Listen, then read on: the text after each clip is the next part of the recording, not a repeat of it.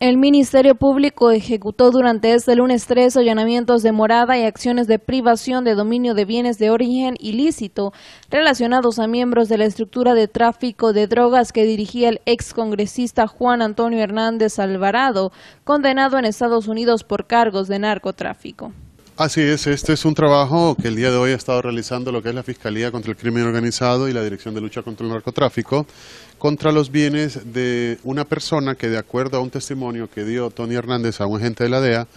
era conocido de él, trabajaba con él, era parte de una estructura criminal que se dedicaba al tráfico de drogas. Es así que se están realizando estos 23 aseguramientos de bienes muebles e inmuebles y de sociedades mercantiles ubicados en Gracias, en San Pedro Sul, en Cortés y también en Tela Atlántida sobre bienes de origen ilícito de esta persona que eh, fue asesinada en el 2011, sin embargo se quedaron sus bienes y ahora el Ministerio Público está haciendo estas medidas de aseguramiento.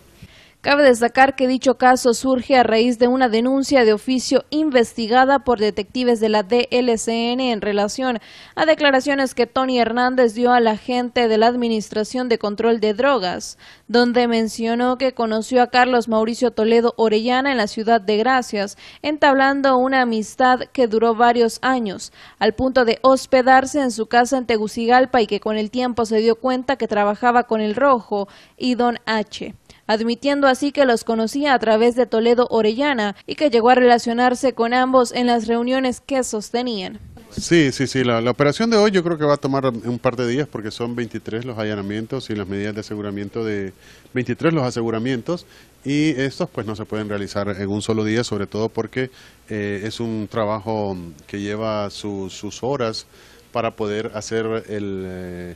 la entrega a la oficina administradora de bienes incautados una vez que son asegurados los bienes. Por su parte, el abogado y analista Héctor Pérez solicita al Ministerio Público no perder el rastro de este caso y continuar con los diferentes hechores sin importar rango político para que los mismos sean juzgados ante la ley por casos de narcotráfico y lavados de activos, entre otros. Bueno, la verdad que supuestamente estos últimos allanamientos que ha hecho el Ministerio Público son aquellas personas relacionadas y que fueron mencionadas en el juicio de Tony Hernández, donde son, fueron colaboradores muy cercanos a Tony Hernández. Me parece correcto, me parece que lo más viable ir detrás de estas personas para que puedan eh, imputársele los cargos correspondientes y, afrontar la justicia en el país pero también vamos a ver también porque sigue más personas, más socios de Juan Orlando Hernández que estamos esperando también que sean investigados porque justicia tiene que haber en Honduras,